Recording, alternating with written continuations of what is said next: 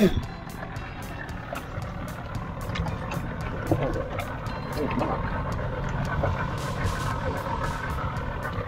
again. Odorex Fisherman Soap, guys. Honestly, it works. Uh, we've been playing bait all day. Neo didn't want to eat a sandwich before with uh, his sticky fingers, so stuck them in this and then ate a sandwich. It's great shit. Try it. Odorex Fisherman Soap. Gets the bait smelling off hands, man. You use it, Jamie. What do you reckon? That's bloody awesome, bro. Like my hands were ponging, and like normally you can't get it out. The smell stays in your hands, but give it a quick wash with that, and it's clean as, mate. Awesome.